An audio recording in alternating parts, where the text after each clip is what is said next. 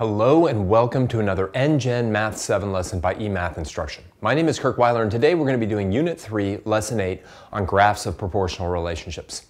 Now we looked at proportional relationships in the last lesson and we even looked at their graphs. Today we're going to be working with a bunch of different problems where the graphs of proportional relationships are still there. And what we want to do is hammer home some really important ideas about these graphs, about their characteristics, how you can recognize graphs as being those of proportional relationships versus those that aren't. So let's get into it right away with the first exercise. Exercise number one. Here we go. An ice cream factory has two machines that produce gallons of ice cream proportional to the amount of time they've been on. Letter A asks us how many gallons of ice cream does machine A produce in three minutes? Use this to determine the unit rate in gallons per minute that machine A is producing. All right, so before we even kind of get into letter A, let's just discuss kind of this graph, right? Definitely proportional, by both of them for two reasons. One, they go through the point zero, zero, right? They, they both have values of zero, and they're going up in straight lines. All right. Now, in order to kind of calculate rates, what we need to do is we need to have a point that comes off of each one of these. For the first one, it asks us, it kind of sets us up, well, if we're talking about machine A, right, how many gallons of gasoline or gasoline, how many, how many gallons of ice cream has it produced after three minutes? And then we want to figure out a unit rate based on that. So pause the video now. Don't be looking at machine B, just machine A, and see if you can answer question letter A.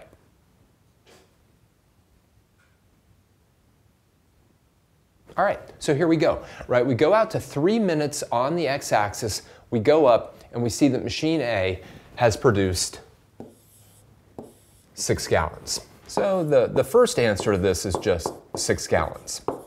Now, we want to use that fact to create a unit rate. Well, what we know is that it's produced six gallons in three minutes, so we set up that ratio. And now, to convert any ratio into a unit rate, all we have to do is divide the numerator by the denominator, or really simplify the fraction, right? So 6 thirds is simply equal to 2, right? Now remember, we want to have units on this, and specifically the units are going to be gallons per minute, right? Always the units of the numerator per one unit of the denominator, two gallons per minute. Now, right, that's kind of great because it tells us that for every minute that machine A is on, another two gallons of ice cream are produced. I keep wanting to say gasoline. I don't know why.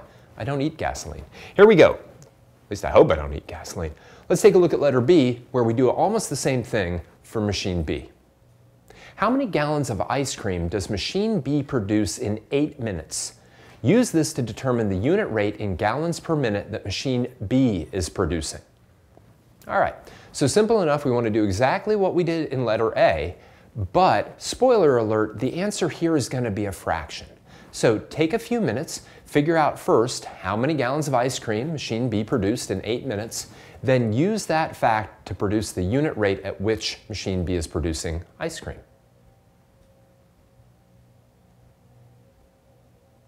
All right, let's go through it. Here we go. So we go out to eight minutes on the x-axis, we go up and we find four gallons, four gallons of ice cream have been produced. So that's the initial answer four gallons, and we want to change that into a rate, so we first set up this ratio, four gallons to eight minutes.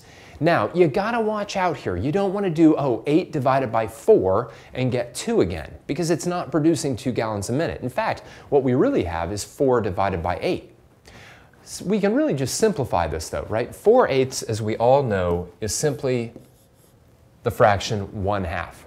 And specifically, we are producing one half gallon per minute. Right? Now, we've got these two unit rates, right? In letter A, machine A was producing two gallons of ice cream per minute, and letter B, machine B was producing a half a gallon of ice cream per minute. Letter C asks us the following. At what time can we see both answers from parts A and B illustrate on your graph. All right, so where can we go on this graph to actually see the unit rates? Do you remember where that was from the last lesson? Well, all we have to do is go to one minute. We simply need to go out to one on this axis. Now this is going to be a little bit hard for you to see, but at one on this axis, right, if we look at machine A, we're at two gallons per minute. And if we look at machine B, and this is a little bit trickier, we see we're down here at one half gallon per minute. So we can always see the unit rates at one minute or one hour or one whatever on the x-axis, right? And then we literally see the unit rates. The unit rates are the y-coordinate. That's why it's so very important to be able to read off coordinate pairs as we discussed in an earlier unit. All right, let's keep going. Let's take a look at the next problem, exercise number two. Pounds and kilograms are two different units for measuring the weight of an object. The weight in pounds is proportional to the weight in kilograms. The graph below shows this proportional relationship. So, in this country, right, we weigh, we do our weights in pounds, right? On the other hand, if you were to go to a European country, or let's be honest, basically anywhere except for the United States, you would find that they measure their weights in kilograms. All right, this graph then shows us the relationship between your weight in kilograms and your weight in pounds. Keep in mind, we can tell immediately from the graph it's a proportional relationship because it goes through the point zero zero, right? And that makes sense. If I, if I weigh zero kilograms, I'm gonna weigh zero pounds. Um, and all the points lie on a straight line. Letter A asks us the following. What does the point 1 comma 2.2 on this graph tell us? All right, so you can like literally go over to one, go up, and we're at 2.2. A little bit hard to tell that from right here, but that point lies on the graph. So pause the video now and how and tell or explain how you would interpret the point 1 comma 2.2. All right, well, what we would interpret is that the 1, right, are kilograms, the 2.2 are pounds, so we can actually interpret this as the fact that there are 2.2 pounds per kilogram. 2.2 pounds per kilogram. It's that unit rate, right? For every one kilogram of weight, you have 2.2 pounds of weight. Let's take a look at letter B. If a person weighed 121 pounds, what would his weight be in kilograms? Let K be the weight in kilograms, solve for proportion to find K. All right, so this is pretty easy, right? We have one point on that proportion, which is 1 comma 2.2, and we know we have 121 pounds. So here's how I might go about doing that. I might say, well, if K is my kilograms, and I have 121 pounds. And again, definitely suggest carrying these units along. Then we can use that unit rate we just saw, 1 kilogram to 2.2 pounds. Now, how should we solve this? Well, we could certainly go back to cross multiplication. That is simple enough right? We could cross multiply here and cross multiply here. Let me toss that out of the way.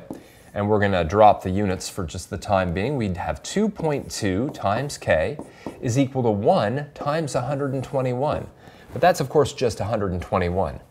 Now comes kind of the ugliness, especially if you're doing this without a calculator, right? We divide 121 by 2.2. Again, without a calculator, we could certainly do this longhand. We would just have to do our sort of our decimal um, movement in the 2.2 to make it a 22. But then we could say, all right, I think 22 goes into 121 five times. Let's take a look. We get 110. Subtract, oh, there's another 110. That's another 55. and subtract and get zero. It's of course completely okay to be doing this with your calculator at this point, given that we've introduced it, but there we have it. K equals 55 kilograms. Whoops. Let me circle it so we can tell. Again, probably quicker right, to do it with a calculator, especially after you've kind of set up the equation work here, than rather than do the long division. But easy enough as well. All right, let's keep going. What do we have next? Ah, a tortoise, otherwise known as a turtle, or maybe they're not the same thing. Anyway, exercise number three. A tortoise is moving at a steady rate such that it travels a total of three meters over a period of five minutes. Tortoises are very slow, as we all know. Um, and we can kind of, we can see this, right, just on this double number line, right? We can use double, double number lines to help us sort of think about proportional variables or think about ratios, right? So what we can see is this idea that after five minutes, the tortoise is at a distance of three meters. Let's take a look at letter A. Using long division, find the unit rate that the tortoise is traveling at in meters per minute. All right, this one's a little bit trickier and you definitely have to use long division to do it if you don't have a calculator. Why don't you go ahead, set up this problem, and figure out the unit rate in meters per minute that the tortoise is traveling. Now, we have to be careful about this, right? Three meters over five minutes, and we want to know the rate in meters per minute. That means the meters, the distance measurement, has to be in the numerator, and the time measurement has to be in the denominator. In other words, we start by setting up the following ratio. 3 meters per 5 minutes. Now, if I want that as a decimal, what I'm going to have to do is go over here and divide 3 by 5 Of course, I can do that longhand by changing the 3 into a 3.0. Of course, 5 goes into 3 zero times. When I do my subtraction, I then end up with a 30. Put my decimal point up here, 5 goes into 36 times. Subtract, and I get 0. So here we go, right? So we get 0.6 meters per minute. Not a lot of room there, but I think we can sneak it in. 0.6 meters per minute. In other words, the tortoise is moving at less than a meter per minute, and that makes sense because if it was moving at exactly one meter per minute, then after five minutes it would have gone five meters. But it hasn't gotten that far, it's only gotten three meters. Let's take a look at the second portion of this problem. Letter B, show your answer from part A, 0.6, on the graph and the double number line. All right. In other words, where can we find this answer, 0.6 meters per minute, truly on both the graph of the proportional relationship and even on the double number line? Think about that for a moment. Pause the video now. All right, well, let's take a look at it on the double number line first. It's kind of cool. It's all about going to where 1 is on the x-axis. In this case, the x-axis is time. Up here, that's right here. So if we go to 1 right here and we simply go directly vertical up to here, we see that's 0.6. In other words, after one minute, the turtle has traveled 0.6 meters. Likewise, down on this graph, we can see it by going to one minute here, simply going up to the graph, here's my point, come over here, and it's also at 0.6. All right. So we really want to harp on that idea that if you want to visualize or you want to see the unit rate on the graph of a proportional relationship, you can always see it as the y value when the x value is equal to 1. All right, let's wrap this thing up.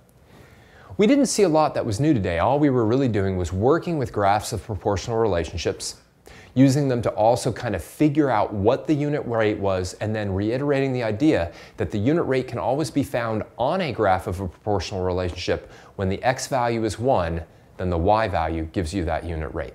We'll work with this a bit more in the coming lessons. For now, I just want to thank you for joining me for another N-Gen Math 7 lesson by eMath Instruction. My name is Kirk Weiler, and until next time, keep thinking and keep solving problems.